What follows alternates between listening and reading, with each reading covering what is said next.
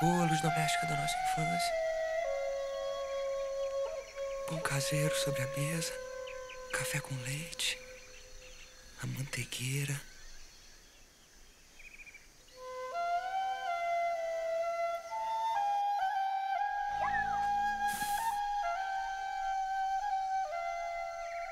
A claridade da nossa casa. Essa claridade que mais tarde passou a me perturbar.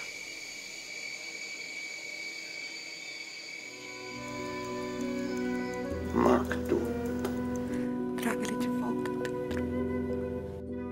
O tempo é o maior tesouro de que um homem pode dispor.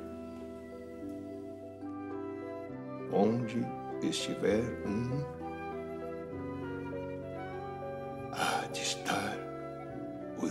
아멘.